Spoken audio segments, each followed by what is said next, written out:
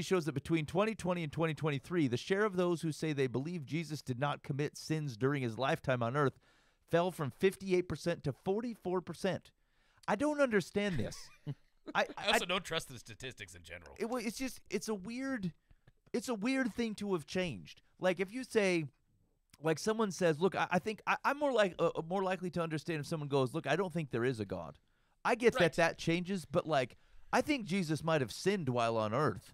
Like I don't understand what about what is causing this problem. Uh, probably Tiger King.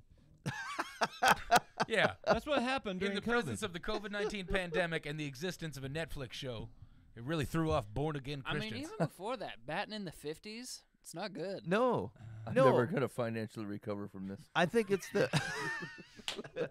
I mean, Good it- morning, all you cool cats and kittens. these are